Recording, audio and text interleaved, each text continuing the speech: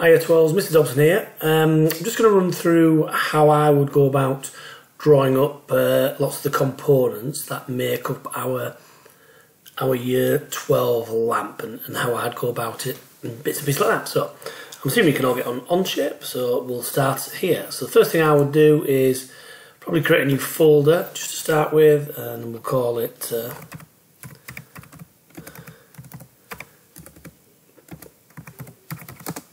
engineered lamp. Once we've created that folder, click into just try and keep it a bit more organised. We're then going to create a, a new document. So call it year 12 lamp. Okay, once I've done that, you'll see it brings up our first drawing drawing page. So again, just go very, very basics. Again, all works in three dimensions.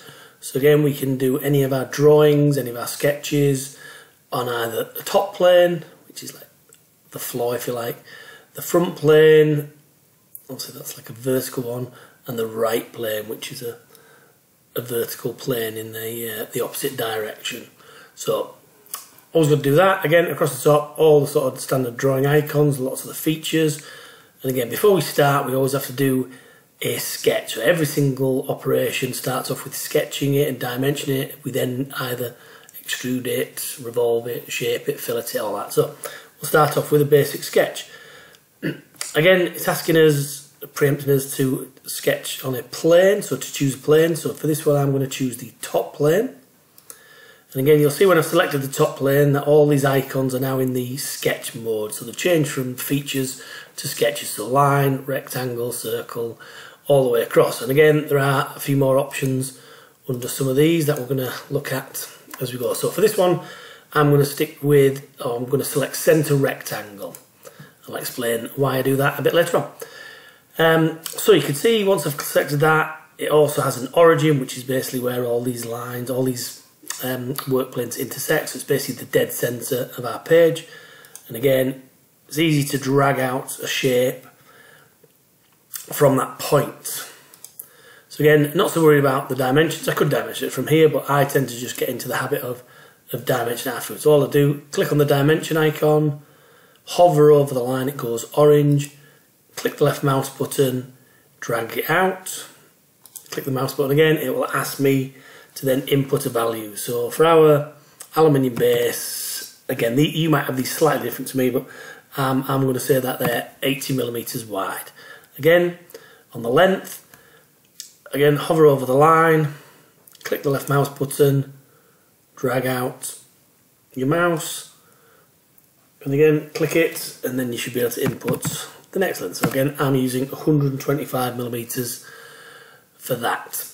Once I'm happy with the basic sort of dimensioning of that, I then just click the tick box to say I'm happy with it and then going to have to do something with that sketch. So I've got a flat sketch on a piece of paper, an imaginary piece of paper, I then need to extrude it. So I'm going to click on the extrude button. You will notice, I'll just come off that, you will notice that when I hover over all these icons, it does actually give me a little step-by-step -step on uh, what I need to do for each of these tasks. Again, if you're not sure, if you hover over it, it is actually telling you what you need to do in what order. So if you're unsure, it's a case of hover over it to create, add or subtract.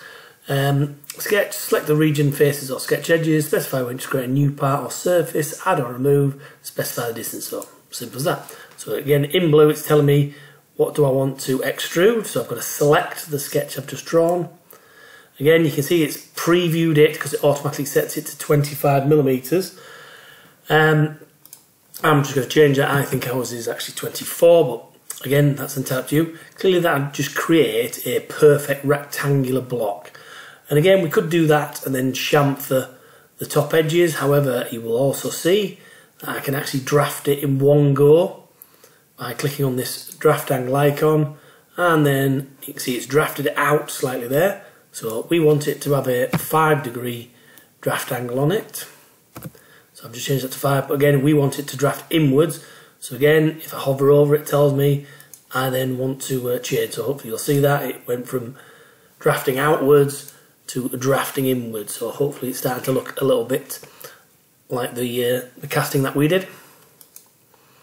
So again, we've got our very, very basic crude shape. Um, whilst we're on this page, I will just run through some of the basic mouse operations. So again, if you've got a, a normal mouse, three button mouse with the wheel, if you scroll in and out with the wheel in the middle, obviously zooms in and out. If you hold the right mouse button, it allows you to rotate. And if you actually hold down the wheel mouse button, it actually allows you to pan your work. Again, it's quite useful that when we're coming to do assembly. So again, need to sort of get used to being able to maneuver the image on screen if possible. Once we've done that basic stage, I'm then just going to put a little round over on these edges. So again, across the top icon here, we've got a fillet tool, so that's actually rounded over. Again, it tells what to do. I could chamfer it if I want to, but we're just going to put a little fillet on all the, the top edges. I would suggest it's probably only about a, you know, a one, two millimeter radius that I'm going to put on. And again, it's just asking me to decide which uh, which edges I want to to fillet So again, I could select it individually just by going around like that. You'll see it does a little preview. Again, if I do something wrong, if I just click it again, it obviously removes it. You know, you'll notice that if I actually select the middle and, and highlight that top face, it'll actually do them all automatically. So again, just some quick wins. I'm actually going to do the edges as well. So again, just need to rotate it around. Just like that. So again, you just got to have a little look, see what you think. I'm quite happy with that sort of 2 mil radius. We then click OK. And we're, we're somewhere near where we need to be with our very, very basic shape.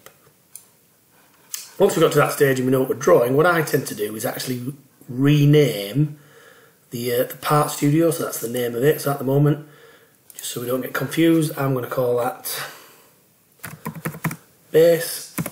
Just rename that because again, eventually we're going to add some more images to that. Okay, once we've got that, that basic shape drafted up, we're then going to start adding some of the hole details on there. So to do this, again, we go back to our sketching uh, option because again, we've got to draw on the, the, the holes that we're going to drill in or drill into our work. So I go to sketch again. Again, it's asking me to select what face I want to sketch. So again, I'm just hovering over the top face. It goes orange. Again, that'll then bring up the sketching icons. Again, I tend to use center point rectangle. And go from there. Again, I'll just zoom in a little bit so you can see this.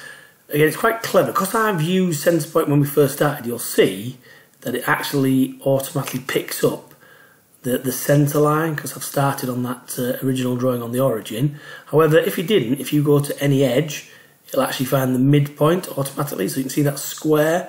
Again, so I'm not clicking on anything here, I'm just inferencing from that uh, center point. So again, I'm coming down a distance drawing the circle.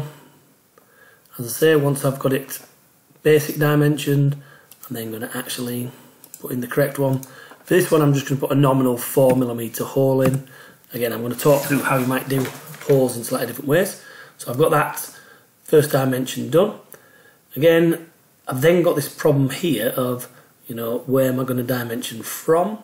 Because obviously I've got a radius Again, if you wanted to, you could actually uh, you can actually hide that or suppress it. So if I, if I wanted to go back to square edges, I could actually suppress that. So I've just highlighted over the fillet. I could suppress it. You'll see it goes back to the, the square edge. So in theory, I could dimension it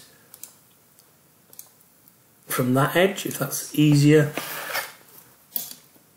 Again, I will say 24 millimeters from that front edge. Again, once I'm happy with that, I can click on the tick box. Again, I then go, I've got to extrude it, which seems odd, but you'll see this time I've got some different options. So I actually want to remove material this time, so I click on remove. And again, you just got to be careful where you highlight. So when I drag it over, it highlights all of it. Again, I'm just going to zoom in a little bit. What you want to be is inside the circle, so it only selects the circle itself. And again, you'll see it previewing it, putting it through 25 mil. Obviously, this all depends on what your design looks like. Again, you can obviously put in it as a blind hole and put in any depth. We can also click on this little um, arrow button here. If you want to go through all, we just select through all so you don't have to worry about a dimension. And in theory, that'll then put a hole all the way through. Again, just a bit easier that one. All I then do is obviously go back to our fillet and I can unsuppress that and it'll add that detail back on. So you can always sort of hide things if you want. Uh, if you've got chamfers and, and radiuses on edges. Okay, I'm just going to put the uh, the last two holes on. So again, go to sketch. Again, you could have drawn all three of these on the same sketch, but I uh, just wanted to do it step by step really. So again, select that top face, go to center point. Again, just gonna run it down. What I would avoid doing, obviously, you can see there it picks up the, the center. Just keep away from that, otherwise you won't be able to, to dimension it. Again, if you're struggling to think, well, I can't really draw it in 3D, this is where you might want to use this icon so I can actually look at it from a straight on view. Sometimes a bit easier to draw that way, so I'm just to put my circle down. Again, all I'm doing is hovering over it. Again, it'll inference, I'll find the middle, and you'll see this dotted line here. That just tells me that it, I want it to be in line. Again, I'm not so worried about the dimensioning as that yet. So I'll get it somewhere near. I'm then going to dimension the circle. Again, I'll do a 4mm one. In theory there, I think it's actually auto-dimensioned both of them, which is good. So again, it tries to do a bit of thinking for you, so it's done that already. Um, what I want to do is then dimension the distance in between those two. Again, I think that distance is around 42 millimeters. Again, we get this uh, thing here. Because we're working in the center, and that, that's actually a work plane line. That If you can see that, it allows me to select that work line. So when I come to dimension from the middle, Again, I can just do that. Again, if you're not very good at maths, I can actually just use it and divide it by two. A bit like we could do on Pro Desktop, really. So I can get it centralised in there. I'm just going to double check that because I'm not sure that is actually, I didn't think it was. So always best to check. So I'm actually just going to dimension that to, to four millimeters as well. Again, we tend to, when we're working on sort of engineering works, always work from centre lines rather than from edges.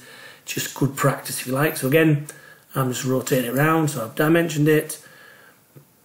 I've got the distance from the, the centre line, if you like, 21 mil. I've got the distance apart. I then just need to dimension the distance from here to the centre of the hole. Again, difficult because I've actually removed the hole itself. Again, this is the sort of thing that you come across.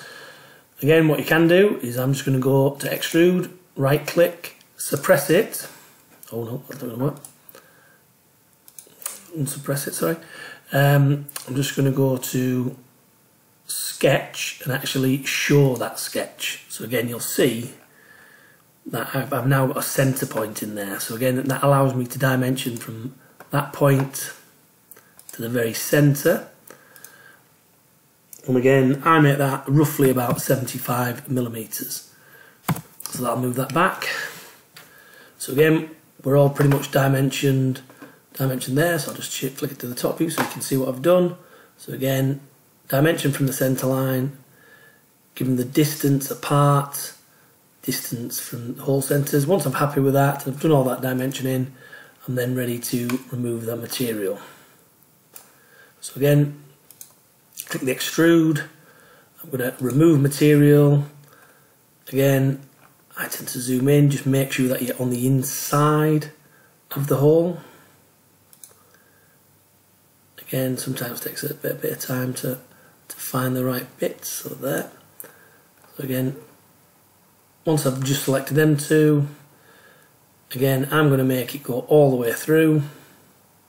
Again, if you wanted to do a, a blind hole, clearly you could do, and you know, I could just change that to, to 15 mil, and clearly that uh, that won't go all the way through. But for this exercise, I'm just going to do through all. All depends on your design, realistically. Click on the tick box and then we are basically complete. Three holes done, dimensioned. Again, I'm just going to hide that uh, quick sketch. Again, don't really want it to be blue, so I'm going to change the colour of it. So what I'm going to do is click on the appearance panel here. You can see it's the blue colour there. All I'm going to do is double click on it, change it to a sort of aluminium grey. Again, in um, in Onshape, to be honest, all we're doing is adding colour rather than an actual texture. We can do that in school when we get back to school in SolidWorks, so don't worry about it. It's more about getting the, the drawing done. Click on the tick box, minimise that. We've then basically finished that part. So hopefully that's been uh, been useful to you. Like I say, you know, just while we're here, you know, clearly I can use this icon. I can actually rotate with this little icon here. I can go down. I can select perfect right views, you know, the back side of it, all that type of thing. I can do a, a 3D view. Again, if I wanted to, I could go into perfect isometric. Again, I could actually put on perspective, so I can start producing perspective drawings for my coursework, all that type of thing. So I'm just going to take perspective off for the moment, keep it on isometric. Again, if you did want to copy and paste this into your coursework, you probably don't want the work planes. The last thing is if you hover over it, I'm not clicking anything, hover over it, right click, I can either hide the right plane, hide all the planes, or hide other planes, or hide all of them, get rid of them all. I can also get rid of this origin. So again, hover over it, right click, hide, and then I'm left with that, um, that perfect view, if you like, of where we need to be.